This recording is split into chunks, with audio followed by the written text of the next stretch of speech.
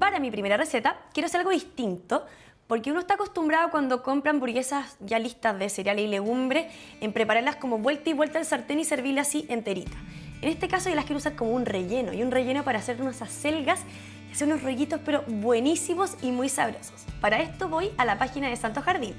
Ellos tienen hamburguesas 100% veganas con ingredientes frescos, libres de harina, etc. En el fondo mantienen como la textura perfecta como un relleno para poder masticar. Acá tienen sabores como el de champiñón, el de lenteja y el de berenjena. Y vamos a pedir de champiñones,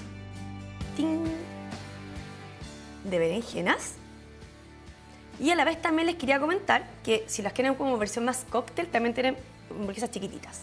Importante que recuerden que sus despachos son de lunes a viernes y los tienen que pedir con 24 horas de anticipación. Así que ahora voy a esperar que lleguen mis hamburguesas para mostrarles mi primera receta.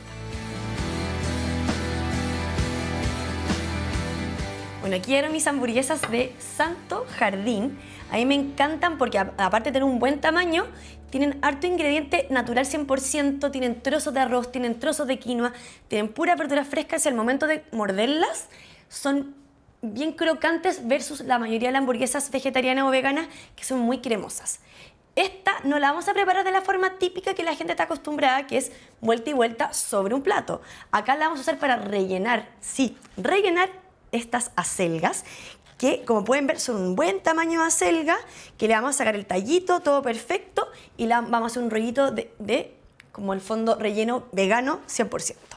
Entonces, para partir, como esta hamburguesa se demora más o menos 5 minutos por lado aproximadamente, vamos a prender el fuego y vamos a cocinarlas antes de seguir con la receta. Entonces, para ir variando los sabores, vamos a preparar una de champiñón y una de berenjena.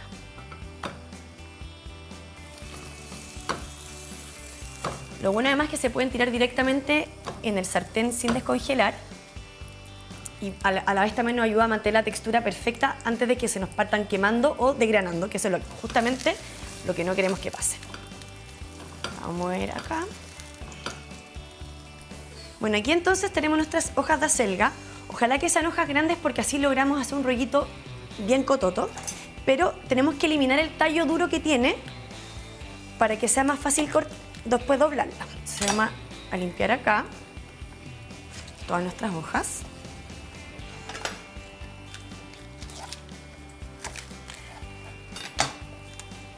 Ya, entonces ahora vamos una por una a ponerlas en agua hirviendo por exactamente 30 segundos, que nos vaya a que, como les decía yo, se ablanden, es una especie de blanqueamiento rápido y después va a servirnos más cuando las queramos doblar.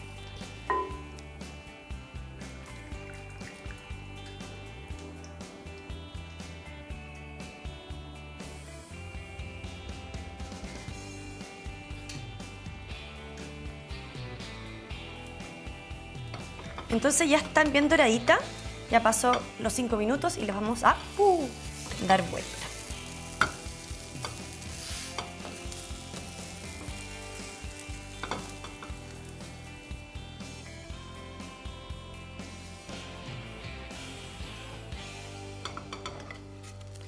Entonces aquí están listas nuestras hamburguesas. Voy a partir primero con la de berenjena, para que así en el fondo la gente cuando la haga en su casa pueda parar y de repente elegir el sabor que más le guste al momento de moler. Así que un tenedor y la vamos a moler así. Y ven cómo se muele fácil e incluso podemos ver que tiene aún los trocitos de quinoa. Está pero maravillosa. Entonces como tenemos cuatro hojas de eh, acelgas, vamos a rellenar dos y dos obviamente. Vamos a partir primero con esta. Da lo mismo si se rompe porque como va a estar bien envuelta, casi ni se va a notar. Eso lo que vamos a hacer. Vamos a echar la mitad de la mezcla. Tiene que ser, ojalá, en esta zona, no la zona que está obviamente abierta porque después la vamos a ir cerrando hacia allá. ¿Ya? Como ven ahí, acostar, acostar, para arriba, para arriba, y a partir así.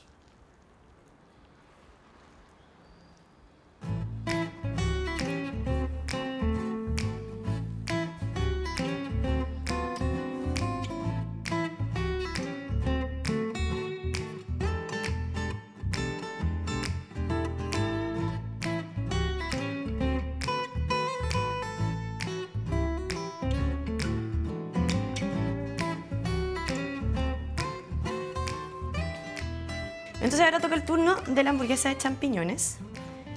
Igual que la otra, moler, rellenar, doblar y estamos.